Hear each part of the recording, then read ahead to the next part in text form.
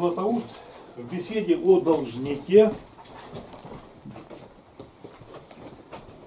задает нам такой вопрос с вами.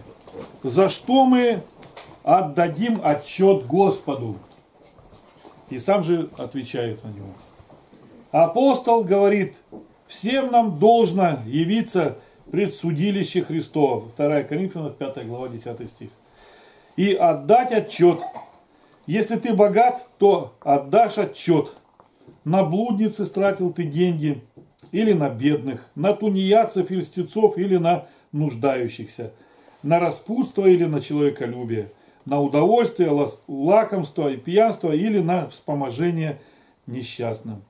И не в одной только трате потребуют у тебя отчета, но и в приобретении имущества, праведными ли трудами собрал ты его, или хищением, или хаимством – получил ли родительское наследство или разоривший дома сирот и расхитивший имущество удовиц. Как мы у своих присных требуем отчета не только в расходе денег, но и в приходе, допрашивая откуда и от кого, и как, и сколько получили денег они. Так и Бог требует от нас отчета не только в употреблении, но и в приобретении. И не богач только, но и бедный даст отчет в бедности. Благодушно ли с благодарностью ли перенес бедность, не впал ли в уныние, не досадовал ли, не возроптал ли на Божий промысел, видя другого в роскоши и удовольствие, а себя в нужде. Как у богача потребует отчета в милостыне, в милостыне, так у бедного в терпении.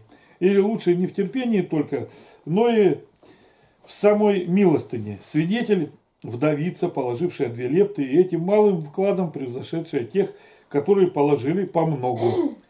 И не богатые только, да бедные, но и начальники, и судьи, истезаны будут с великой строгостью, не извратили ли они правду, не произносили ли приговора над подсудимыми по пристрастию или по ненависти, не дали ли, уступив лести, неправедного решения или по злопамятству не сделали зла безвинным. Да и не гражданские только начальники, но и предстоятели церкви дадут отчет в своем начальстве, в своем начальстве и особенно эти подвергнутся гораздо более строгим и тяжким взысканиям.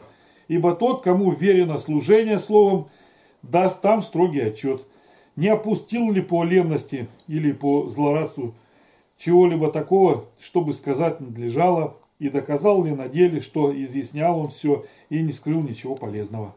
Опять, получивший епископство, не сколько высшую взошел он степень, сколько на строжайший даст и отчет не только в учении и предстательстве за бедных, но и в испытании рукополагаемых и в бесчисленном множестве других дел. На это указывая, апостол Павел писал Тимофею, рук ни на кого не возлагай поспешно и не делайся участником в чужих грехах. 1 Тимофею, 5 глава, 22 стих. И давая наставления евреям касательно их начальников, устрашал другим образом. Повинуйтесь, говорит, наставникам вашим и будьте покорны, ибо они неусыпно пекутся о душах ваших, как обязаны дать отчет. Евреям 13 глава, 17 стих. Но не в одних делах, но и в словах дадим отчет. Так Бог верил нам слово, взыщет за его употребление. Так мы, естественно, будем и строги дадим отчет в том, не бессмысленно ли и не попусту ли тратили слова свои. Ибо не только вредна пустая трата денег, сколько бессмысленное, суетное и напрасное употребление слов. Напрасная трата денег делает иногда ущерб имению, а слово, произнесенное без рассуждения – разоряет целые дома, губит и разрушает души. Ущерб имения можно опять поправить, а слово, раз вылетевшее, возвратить назад нельзя. А что мы дадим отчеты в словах, послушай, что говорит Христос. Говорю же вам, что за всякое праздное слово, какое скажут люди, дадут они ответ в день суда. Ибо от слов своих оправдаешься, и от слов своих осудишься. Матфея 12 глава 36-37 стихи. И не только в одних словах дадим отчет, но и в слушании от других. Например, не внимал ли ты ложному обвинению ближнего, ибо сказано, не внимай пустому слуху. Исход, 23 глава, 1 стих. Или же приемлющие пустой слух не получают извинения, но какое оправдание будут иметь те, которые клевещут и злословят?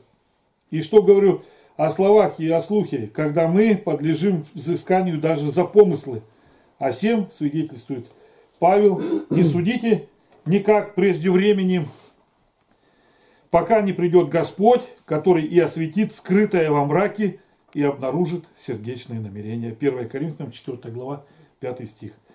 И Давид говорит, яко помышление человеческое исповести тебе. Псалом 75, 11. Что такое помышление человеческое исповести тебе? То есть, не коварно ли и злонамеренно говорил ты с братом, не хвалил ли его устами и языком, а в сердце пожелал зла и позавидовал ему.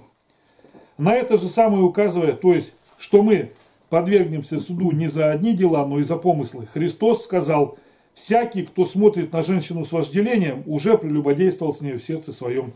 Матфея 5 глава 28 стих. Хотя грех не вышел еще в дело, остается пока в сердце, но и при этом не может остаться без вины. Кто смотрит на красоту женскую для того, чтобы возжелать похоть, возжечь похоть блудную, Итак, подумай, каково тогда будет судилище, припомни себе во все, все грехи твои, хотя сам ты и забудешь твои преступления, но Бог никогда не забудет. И представит все грехи пред глазами нашими, если только мы не предупредим загладить их теперь покаянием, исповеданием и тем, что никогда не будем злопамятствовать на ближнего своего Господу нашему славу во веки веков. Аминь. Аминь.